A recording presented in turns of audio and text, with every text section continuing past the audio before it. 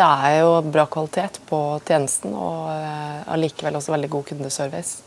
Du kan forvente deg personlig oppfølging. Det er det vi føler vi har fått. Hvertfall. Det er en veldig enkel grunn til at vi bruker Dipper og at vi anbefaler det til våre virksomheter. Det er at det er rimeligere og det er bedre. Prisene deres og planene deres er veldig forutsigbare. Det er bra for oss som virksomhet å ha en forutsigbarhet på, på telefonikostnader. Et lågt fastpris i måneden. Det som er veldig bra med Dipper, er at de har sentralbordtjeneste.